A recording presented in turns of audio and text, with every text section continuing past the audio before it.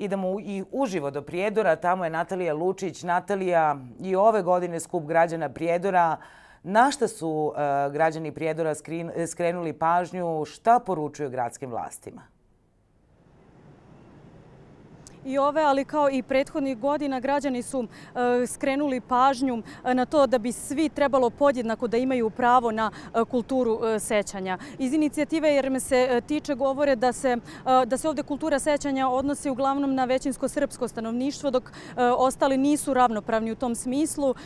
Upravo i zbog toga su prošetali da podsete na to gradskim šetalištem i ostavili iza mojih leđa na trgu 102 ruže za 102 E, stradale dece. Još jednom su podsjetili grad e, za potrebu za spomenikom e, toj deci koji žele da bude na ovom trgu gde se šetnja i završila.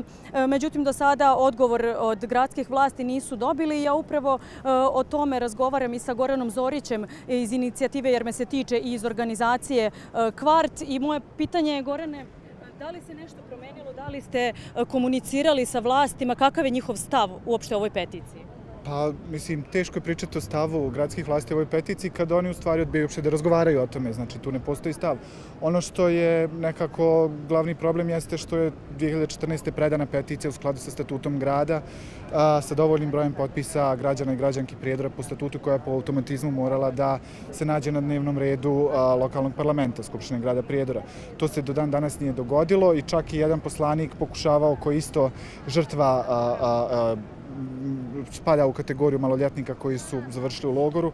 Sada je e, e, odborniku pokušavao je par puta da, da e, kandiduje ovu temu, nikada nije prošla na dnevnom redu.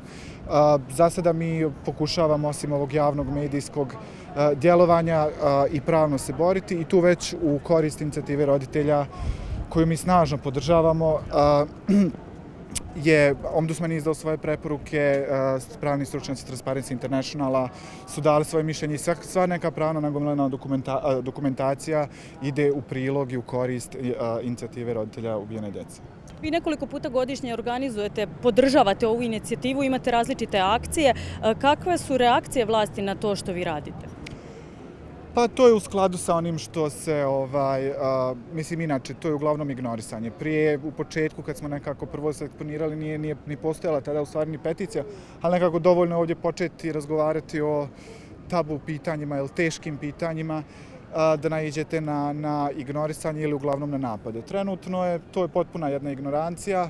Na dijelu su uglavnom te, kako je mali grad i puno su ti konformistički utjecaj prisutni, na dijelu je ili to ignorisanje, tihe ucijene, diskreditacije i sve ono što ide sa tim.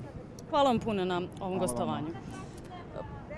Podsjetit ću samo još jednom dan Belih traka se e, obeležava u prijedoru svakog 31. maja u znak sećanja na više od 3000 poginulih i nestalih e, prijedorčana. E, inicijativa, jer me se tiče, je podnela peticiju za podizanje spomenika, međutim e, nikakve odgovore od vlasti do sada nisu dobili. I podsjetit ću samo još jednom dan Belih traka se obeležava zbog toga što su vlasti, lokalne vlasti naredile svom nesrpskom stanovništvu, pretežnom bošnjacima i hrvatima, da nose obeležja oko ruke, odnosno bele trake i da obeleže svoje kuće belim čaršafima. Preživeli, odnosno svedoci tih svih događaja, kažu da je to rađeno da bi se oni mapirali e, i da bi se na kraju nad njima e, počinili e, zločini, a upravo i pomoću tih belih traka su kasnije identifikovane žrtve.